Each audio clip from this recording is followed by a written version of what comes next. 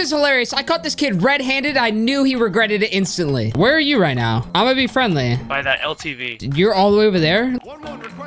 Okay, so you just lied to me. Why you lied to me, dog? I didn't lie to you. What are you talking about? You're in here. Listen, I know you're in here in this room, okay? I'm gonna come in. Don't shoot me or the rest of my three teammates are gonna run in here with pistols, okay? I'm gonna open the door. I'm right here. Don't. Oh, hey, what's up?